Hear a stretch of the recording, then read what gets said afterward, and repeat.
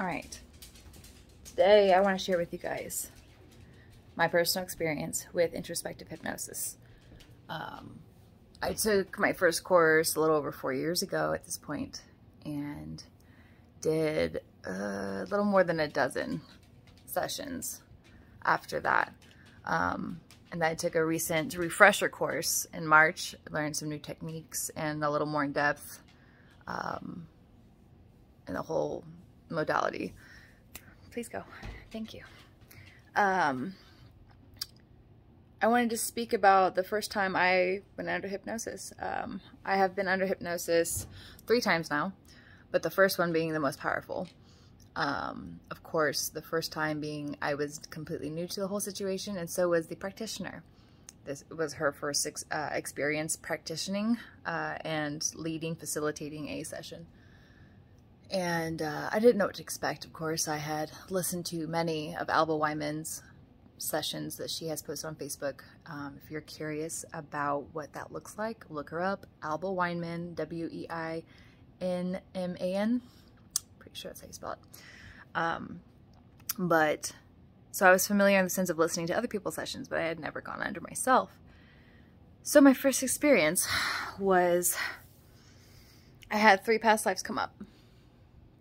The first one being some kind of Arab man. I don't know the nationality. I don't know the time period, nothing. All I know was that I helped travelers cross the desert. They would pay me, and I had nothing to my name besides the camel and everything I could fit on its back. And I would just help cro people cross the desert from here to there. And that was my life.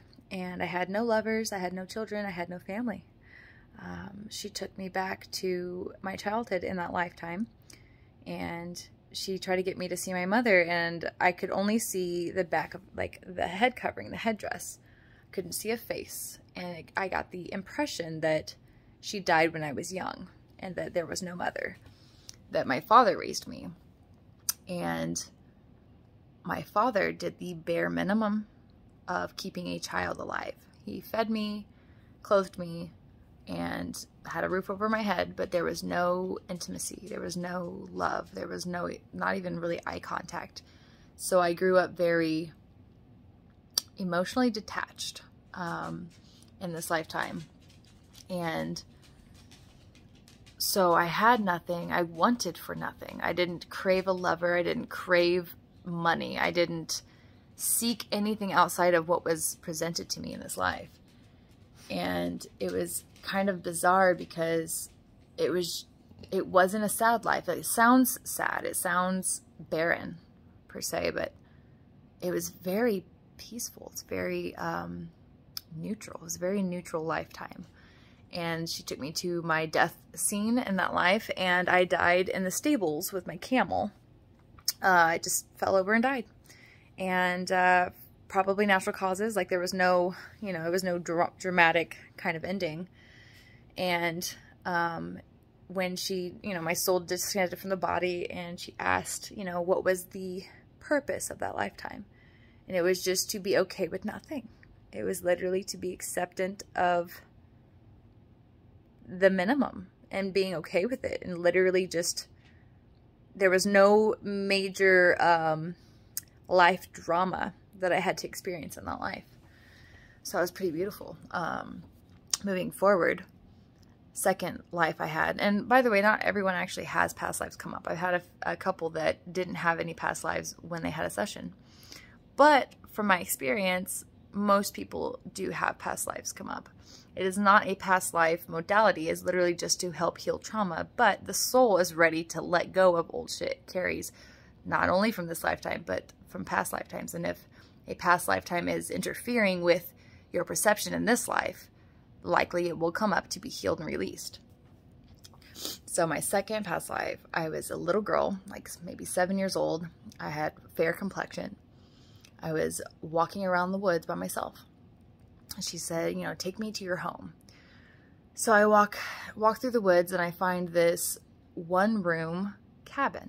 It was just a standalone by itself cabin in the middle of nowhere and this beautiful forest. Um, and she had me go inside. And of course, you know, there was a bed, one window, one door, a bed, um, an area for like a a pot and a fire, like a like a giant cauldron looking thing um, to cook with, and a table.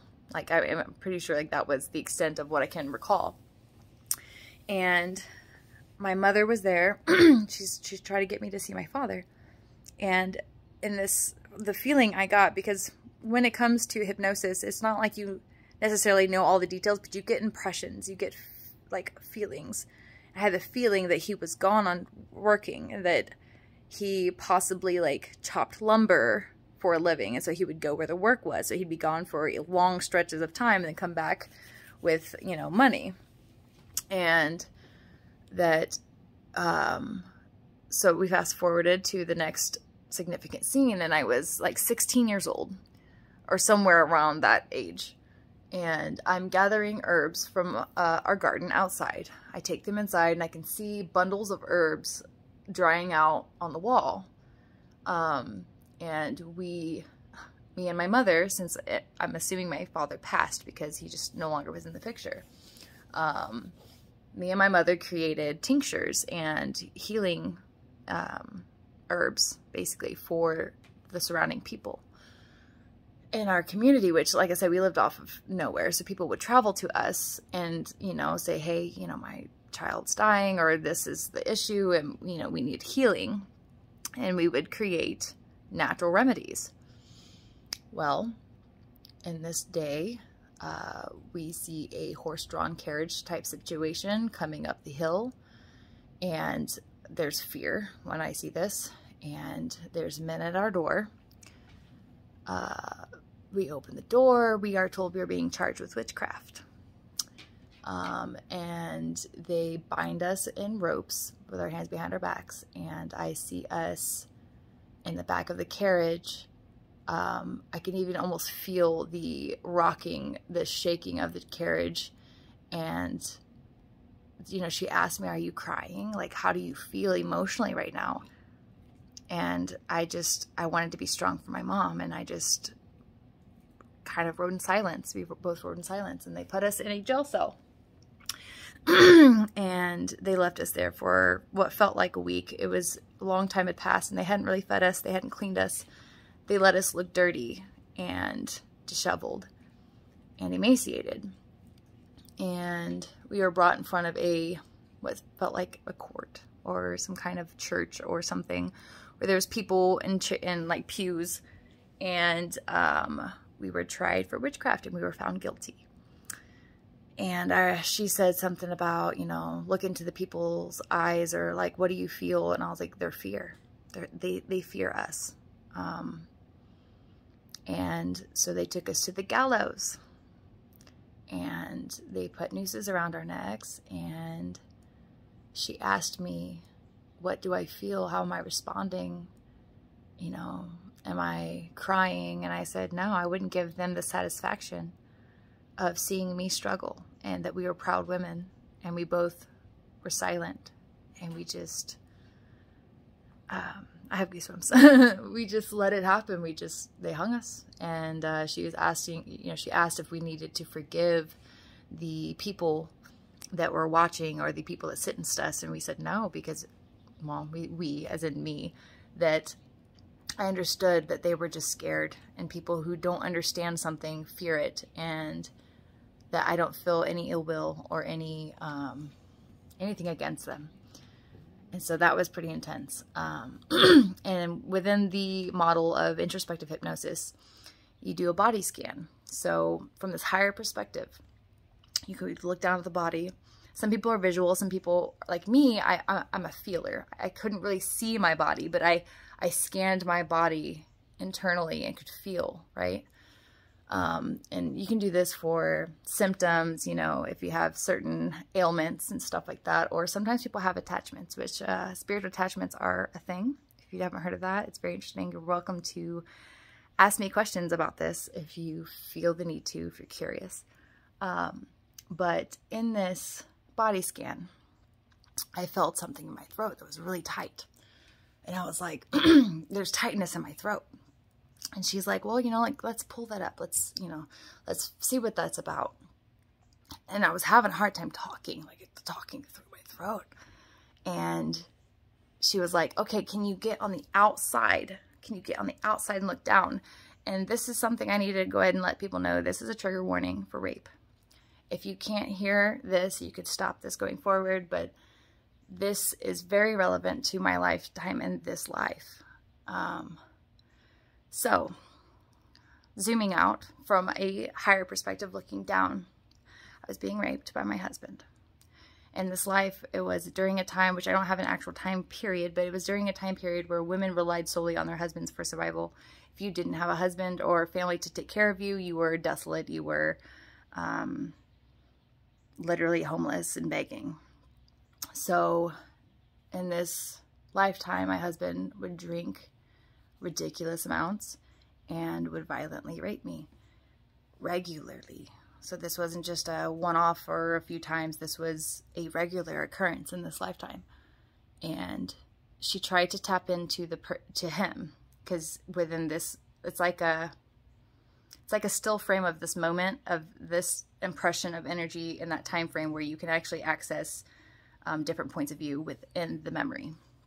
But she couldn't get through to him. Nothing came out. But what was happening is I was just, I was not physically sobbing, but my eyes were like just pouring. Like my, I was not controlling the tears. My body was expelling tears. Okay. And um, she was like, okay, well, why don't you just leave him? Well, I explained to her, there's nothing else for me at this time in space. There's nothing else. I could die on the streets. And um, she's like, take me to a time where he's not around, when you're alone. And I envisioned myself in this form where I am slumped over in a chair, hollowed, feeling nothing, feeling the most void I have ever felt and have never felt since. Um, I felt so empty as a person, used up, no joy. And she fast forwarded to my last breath, my last, you know, experience in that life, and he accidentally strangled me to death uh, during one of those interactions. And honestly, my soul was ready. My soul wanted to go. Um, so coming back from that, I don't remember, sadly, I did not get the recording of this, but I don't remember the purpose of it or why that one came up, but I know the purpose of it in this life. So some of you who've watched my videos or who know me personally know that I was a gold star lesbian my whole life up until recently when I tried sex with men for the first time and got pregnant. I say men as in plural, there's been one. Um, but it was actually this session that made me realize how much I had to heal from that lifetime, and that's why I never felt safe with men. I always felt like they wanted to take something from me.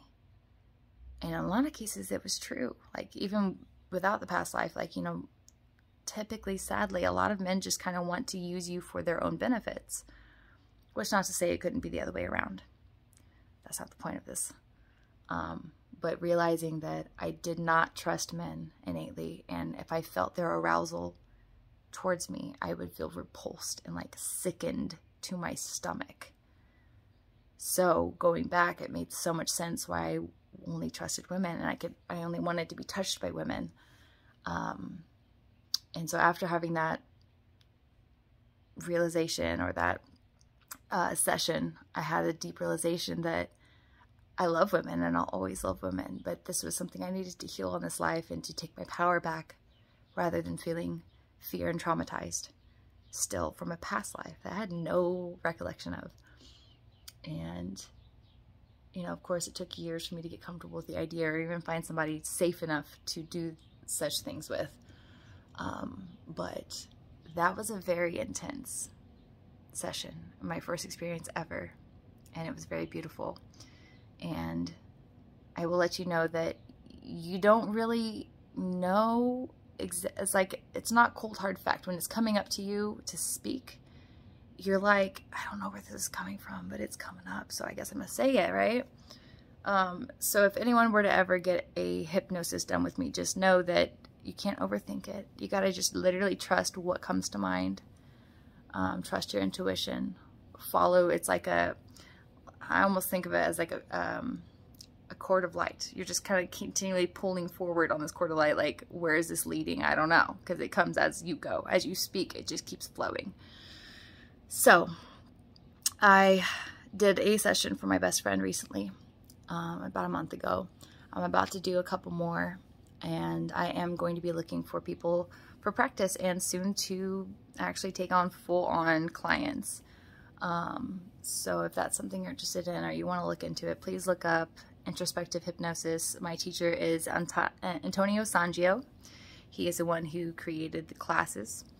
Um, Alba Weinman was my muse who got me into hypnosis to begin with. So all worth looking into if you're intrigued. And I'm an open book. So if you have any questions and you want to email Tactfully Unashamed or message Tactfully Unashamed on Facebook, you're welcome to. Um, those of you who follow me personally are welcome to ask any questions on my personal page. So that's it. And I look forward to sharing more about my hypnosis experience with you guys. Thanks.